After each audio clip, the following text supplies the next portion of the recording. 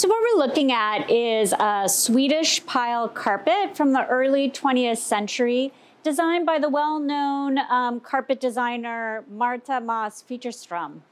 The ivory field has a highly stylized tree of life design, and then the border, which is a beautiful light camel color, again has a highly stylized, sort of leafy, vinery and blossom border.